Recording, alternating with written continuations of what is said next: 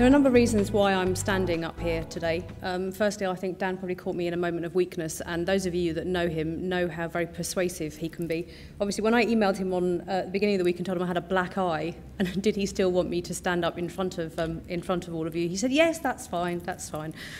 Um, Or maybe it was because when we were talking, he saw me trip over my soapbox when we got up from a conversation talking about education um, and how, as he's rightly said, I, I think there are a number of areas where we are potentially failing our, failing our children. Very emotional comment from, from someone there um, via email.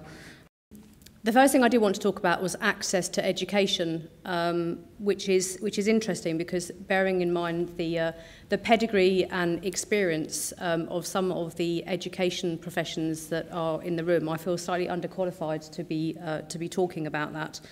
Um, however, um, one of the one of the points that, that Dan made, and, and it's something that he and I discuss quite a lot, is that is that um, a great deal of us do work in, in in very privileged environments, although we don't necessarily always appreciate that.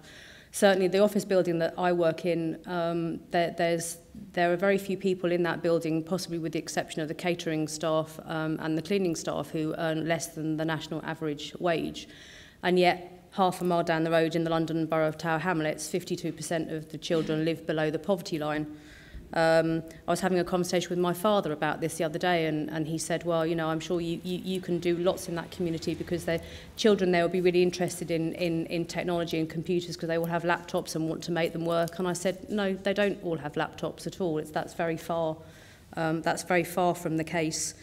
Um, I, I did. Uh, I had the privilege last year of going to uh, um, uh, a session with Nicholas Negroponte, um, who is the the founder of the One Laptop Per Child initiative, um, where he, he set out to equip millions of the world's poorest children with the uh, the hundred dollar laptop. I don't know whether any of you are familiar with with um, with his initiative. Um, so far, uh, he's got 2 million of these laptops out there, and obviously these are in, in, in the developing countries of the world rather than countries like, um, like the UK or, or the US, but I think the, the principles are, are, are the same. Um, his foundation believed that learning is the basis for full human, social, economic, and democratic development. And having listened to him, he's an incredibly inspiring person. If you ever get the opportunity to hear him speak, you should, you should definitely, um, definitely do that. So I, I think that now his greatest legacy to the world is not that he founded the, uh, the Media Lab at the Massachusetts Institute of Technology. It's not that he founded Wired Magazine. It's that he now has children in the world who are teaching their parents how to read and write because they have this, because they have this infrastructure um, of, uh, of laptops. Um, it's initiatives like that and the one that we've come to talk about today um, which, uh, which make a difference. Um, turning to the issue of CSR, I think um, there, there, there's potentially a great deal of cynicism around the whole CSR um, agenda. Um, There are suggestions that it is done more as a, a, a box-ticking exercise um, because it's something that certainly in the environment that I work in, it is something that increasingly clients are, are very aware of. Any kind of pitch process you go through, you have to put in a great deal about what your, um, what your CSR initiatives are.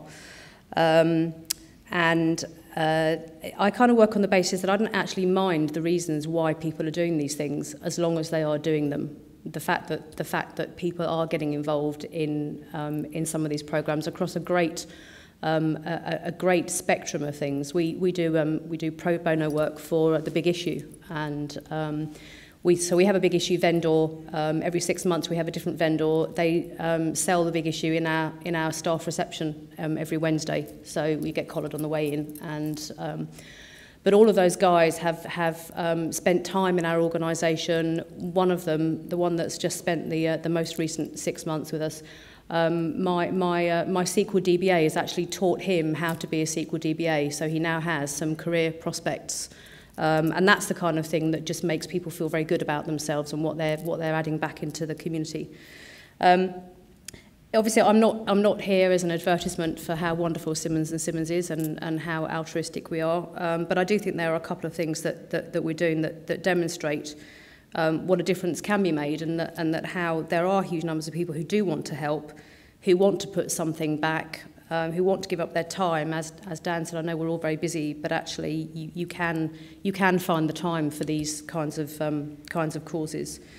Um, so for a number of years we've worked with an organisation called Twist, um, where um, we, we have uh, 15-year-olds from the London Borough of Tower Hamlets who are just on the on the verge of being excluded from school, and and their you know their lives are potentially going to go in one direction or another.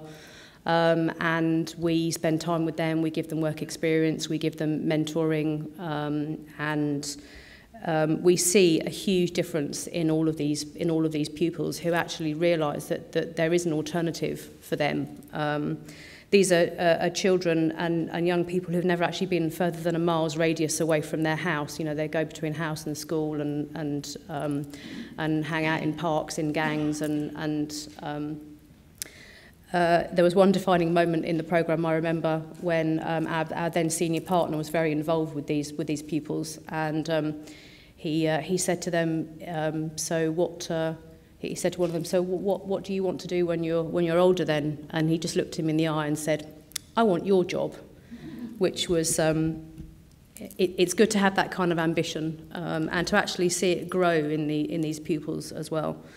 Um, so obviously the question of social mobility is also high on the CSR agenda um, as well. And again, um, whether you see it as a cynical box ticking exercise or whether you see it as something that actually makes a difference, there's no doubt about the fact that um, we have a number of students that we that we've sponsored through university, but we also we we have also offered training contracts to a number of people that we've sponsored as well. So traditionally firms like Simmons have, have taken on um, graduates from the, uh, the, the, the red brick universities, the ones that you would expect.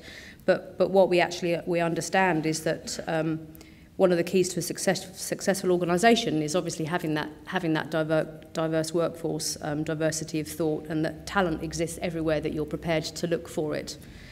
Um, So you'll have seen some of the statistics that Dan has presented uh, regarding the numbers of young people who are falling out of both the education and the employment system. Um, and just to bring this back down to a, a, a sort of a, a, more micro and personal perspective, um, you know, I worry about the future of my son. He's, he's nine years old. And um, I already wonder what the world is going to be like when he's a teenager. He has a 15-year-old babysitter who looks after him. Um, and... Uh, she is just about to start in the sixth form. She doesn't know what she wants to do, but I, I, I just remember that when I was uh, a teenager thinking about what I wanted to do, there was more choice, there was more opportunity, there was less pressure, there was less competition.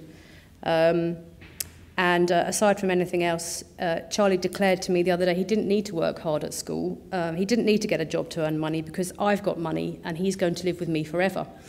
So um, if nothing else, I'm very much hoping that supporting initiatives like this uh, um, will save me from that, from that rather uncertain future. um, so I'd just like to say uh, that I'm a very firm believer in the concept of lifelong learning. Um, and I believe that if we ever stop learning things from our environment, from our experiences or from other people, then that will be a very sad day. Thank you.